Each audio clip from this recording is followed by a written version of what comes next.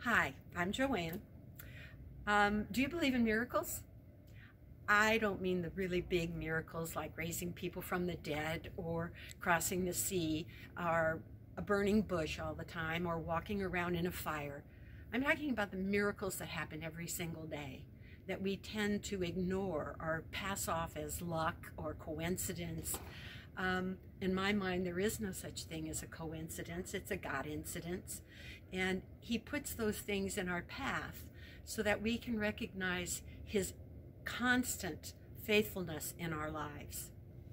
How many people have ever prayed for or asked for prayers for traveling mercies? And they've gone to their destination and come home without a problem. Have we ever thought to thank God for answers to those traveling mercies? The little things that we take for granted. Um, I can remember going on a trip and forgetting something and coming back. And that five minute time kept me from being in an accident that happened at the very intersection that I would have been passing through. We talk about these kind of things and think, oh boy, were we lucky. I don't believe in luck. I believe that God gives us opportunities.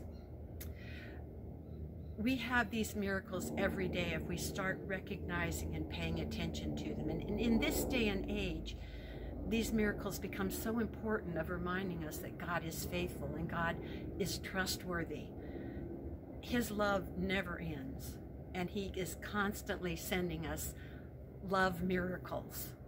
Um, this week, even, a friend of mine reminded me that of something that had changed my life, actually. I'm an introvert, believe it or not.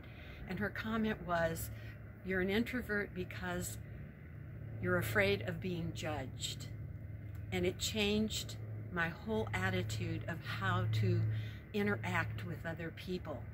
That to me was a miracle. And it should be to others. We need to start recognizing those miracles. A vaccine for the pandemic is a miracle. But so is somebody taking a meal to somebody who is sick or saying a prayer for somebody who is sick, or sending a card, or making a phone call. Those are all little miracles in somebody's life.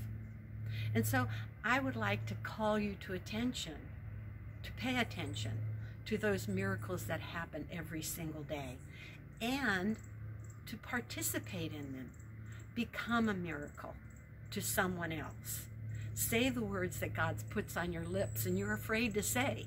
Speak them out they may be exactly what somebody else needs to hear. And the card you send may cheer somebody in, in a not so happy day.